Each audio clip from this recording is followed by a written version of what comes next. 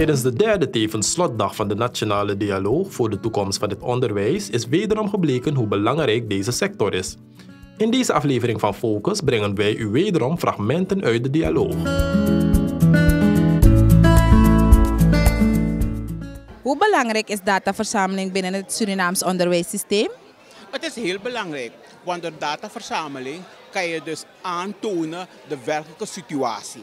Heb je dat niet, dan ga je dus gissen. Het was zo of ik denk zo. Maar als je dat kan bewijzen aan de hand van data, dan kan je ook daardoor ontwikkeling brengen en kan je dus een, een, een plan maken om het onderwijs op een hoger niveau te brengen. Dus je hebt data gewoon nodig.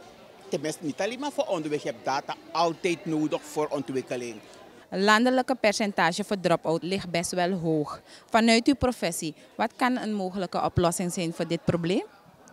Ja, ik ben inderdaad uh, voorzitter van de stichting Father, Mother, Figure. Dat is een organisatie die uh, jongeren die uh, problemen hebben begeleidt. Dus wij begeleiden scholieren. Het gaat om kinderen tussen 8 en 18 jaar. En wat we doen is we komen thuis bij de gezinnen. En daar wordt een coach ingezet die de jongeren een periode coacht, van zo'n drie tot zes maanden. Waardoor de jongeren zijn school kan afmaken. Dat is onze bijdrage. Dus wij uh, werken in het veld. Ja, komen thuis bij de mensen. Dus niet alleen de jongeren wordt uh, gecoacht, maar ook uh, de ouders. Als het gaat om één ouder, ja, de moeder of de vader, wordt die gecoacht. Als het gaat om twee ouders, dan worden beide ouders gecoacht. Zodat de ouders ook sterker worden, bepaalde vaardigheden bij leren. En je kan denken aan het beter opvoeden van hun kinderen. Ja, meer quality time met hun kinderen doorbrengen. Ja, het uh, observeren wat er gebeurt ten aanzien van uh, huiswerk. Ja, het uh, doen van leuke dingen, ontspanning. Zodat de kinderen een hobby kunnen hebben. En het meegaan naar die hobby. Ja, dus in die zin leren we de ouders hoe ze op een betere manier hun kinderen kunnen opvoeden. De rol van de inspectie bij de onderwijsdialoog vandaag was dat we eigenlijk hebben aangegeven wat de inspectie zal doen bij een nieuw onderwijssysteem. Namelijk dat we willen afstappen van uh, de oneigenlijke taken die nu bij de inspectie zijn. Nou, oneigenlijke taken niet. Maar er zijn taken die eigenlijk je afhouden van je inspectiewerkzaam, je core business om het zo te zeggen. Uh, bijvoorbeeld taken zoals uh, het plaatsen van leerlingen, uh, aanhoren van klachten van leerlingen, het zoeken van oplossingsmodellen voor kinderen die gevochten hebben. Het zijn dat zijn een paar van ze. Maar er zijn heel wat andere zaken waar je zegt van deze dingen moeten door andere afdelingen uh, gedaan worden. Zodat de inspectie zich kan bezighouden met de kwaliteitsbewaking en de kwaliteitsmonitoring uh, van het onderwijs op de scholen. En dat hebben we vandaag gepresenteerd.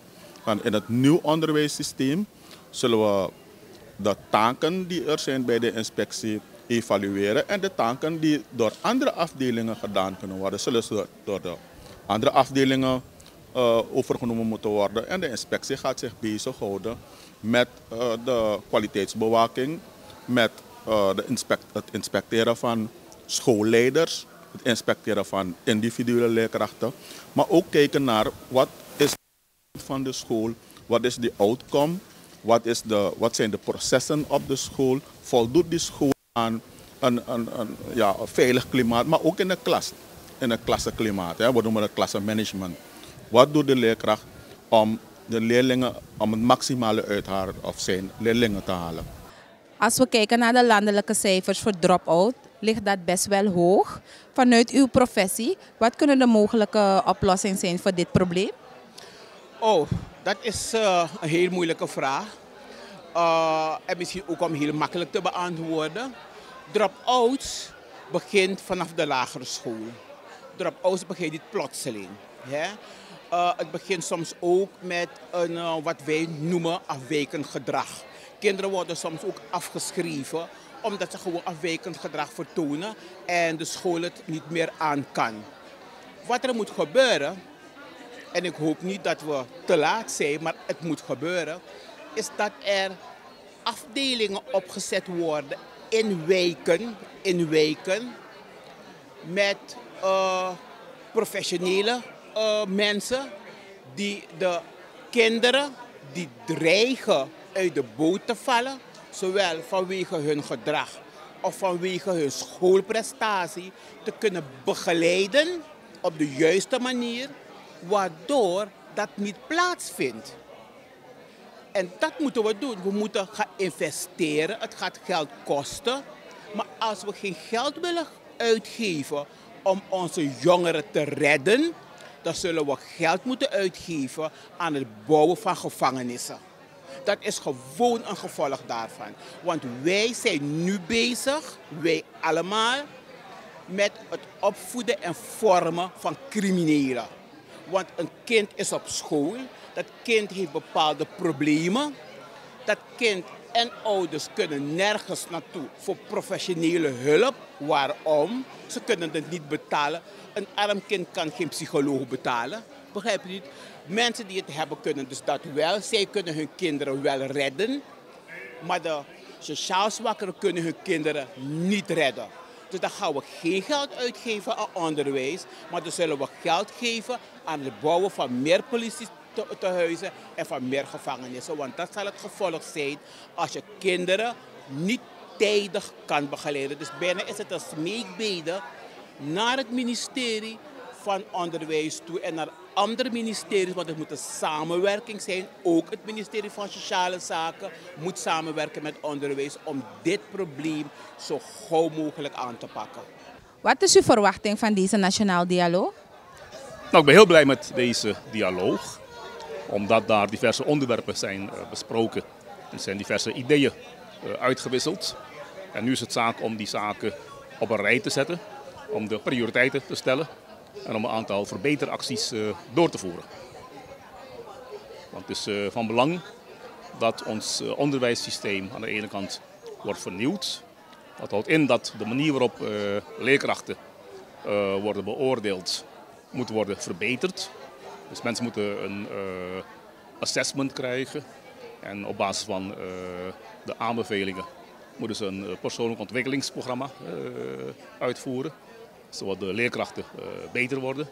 Ja, maar daarnaast moeten ook de schoolleiders worden beoordeeld of die in staat zijn om de leerkrachten te inspireren, te motiveren. Dat ze inderdaad op een goede manier lesgeven aan de kinderen eigenlijk op een manier alsof het hun eigen kinderen zijn. Dat is iets wat uh, nodig is op grote schaal. Dat die leerkrachten gaan opereren alsof het hun eigen kinderen zijn. Want dan merk je dat de liefde uh, gaat stromen. En dat die kinderen inderdaad uh, zich gewaardeerd voelen en betere resultaten scoren. Ik hoop, ik hoop, echt waar, dat de resultaten van dit dialoog en natuurlijk ook van andere dialogen die in het verleden al hebben plaatsgevonden, dat men eindelijk uitvoering aan zal geven. Waarom zeg ik dat ik het hoop? Omdat Suriname kennende, ik heb het ook net gezegd, wij hebben in dit land kennen we politieke rampen. En dat houdt in dat het moment een andere politieke partij aan het bewind komt en de leiding heeft, wij alle goede dingen van de voorgaande partij of partijen gewoon in de la stoppen en we gaan weer beginnen. Maar het begin is ook niet het eind. Want dan beginnen we steeds weer, waardoor we nu in 2019 nog steeds zijn waar we toen waren. Dat bedoel ik dan met politieke rampen in dit land. We kunnen niet samenwerken. We kijken niet wat is goed voor dit land. Wat is goed voor het kind? Nee, we kijken wat is goed voor mijn politieke partij. En als dat goed is, dan doe ik dat. Als ik daarmee kan scoren, dan score ik daarmee. En het kind, het kind wordt de dupe. Want criminaliteit is toegenomen, dat komt omdat het niet is aangepakt. Daarom is het toegenomen. Dus ik hoop, daarom zeg ik, ik hoop dat er verandering komt in dit land, in het denken van onze politieke leiders, dat we nationaal gaan denken en ook in het handelen, dat we gaan handelen in het belang van dit land. En dan wil ik echt, echt de nadruk op iets leggen. Kinderen, de jeugd is belangrijk voor de toekomst. Als we criminelen opvoeden, gaan we criminelen krijgen. Laat dat duidelijk zijn. En ik vind het een heel kwalijke zaak. Ik kom uit het onderwijs, 40 jaar ervaring en ik weet waarover ik praat. dit kan zo niet verder gaan. We moeten werken aan die drop-outs. We moeten werken aan kinderen met wat we noemen een afwijkend gedrag. Want het kan wel. Maar laten we ervoor gaan. Laten we nationaal gaan denken. We hebben met deze dialoog drie hele innerverende dagen gehad.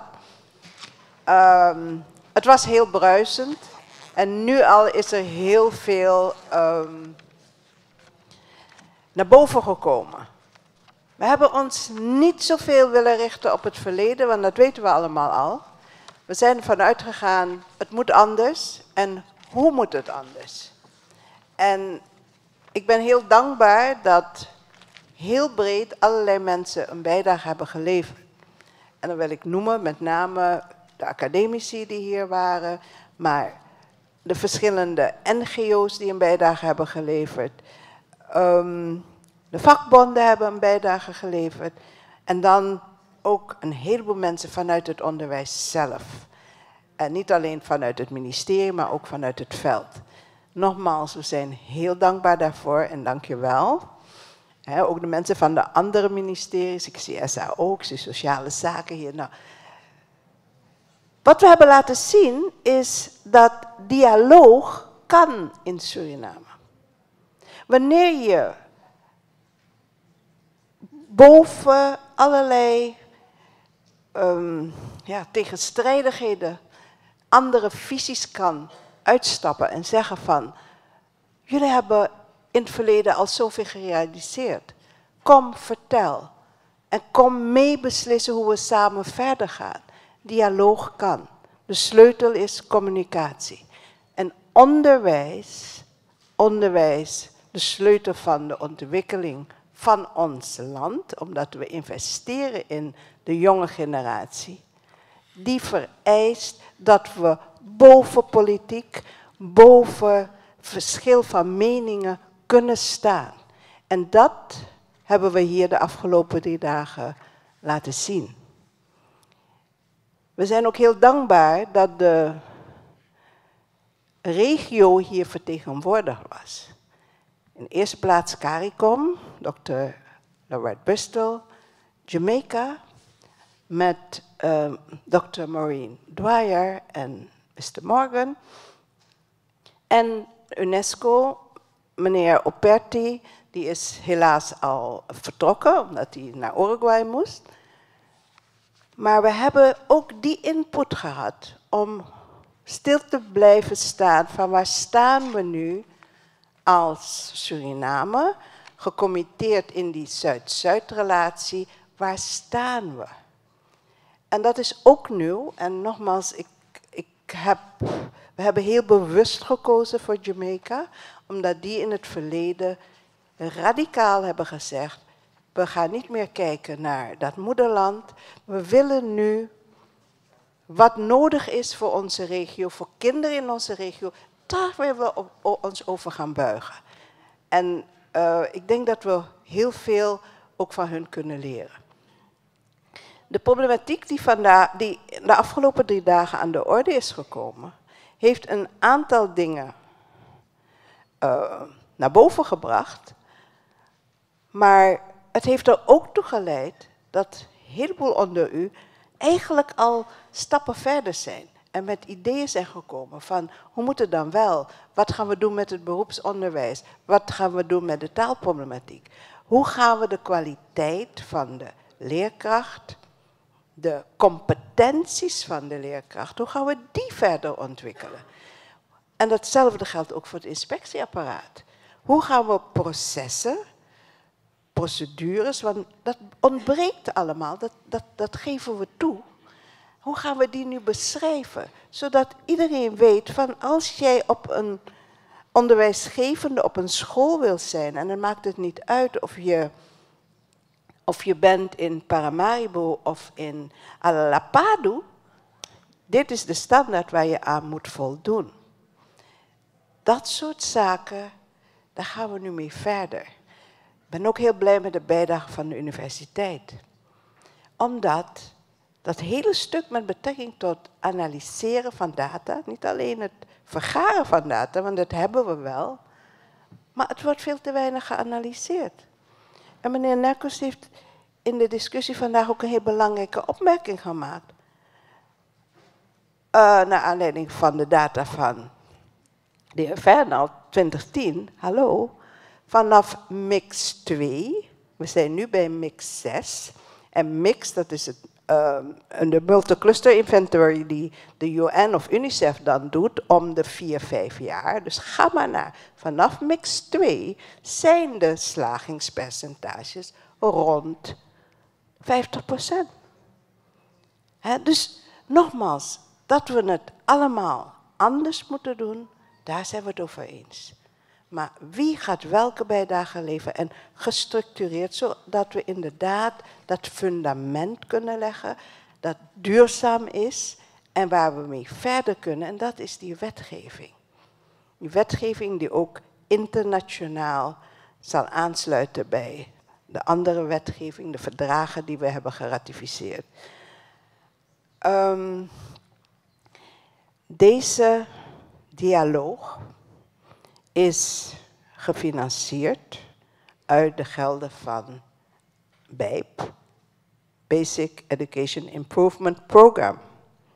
Omdat daar het fundament ligt. Dus ik wil nu mevrouw Levens even het woord geven, want we doen alles samen. Nogmaals, communicatie, overleg is heel erg belangrijk. in het verleden heeft men BEIP gezien als iets aparts. En curriculumontwikkeling was dan ook anders bezig. Nee, alles wat we doen op het ministerie van Onderwijs moet hand in hand. Samen overleggen, uitleggen. Laat mensen uitspreken. Respecteer de visie en mening van anderen. En neem een beslissing, hoe dan wel en hoe moet het anders.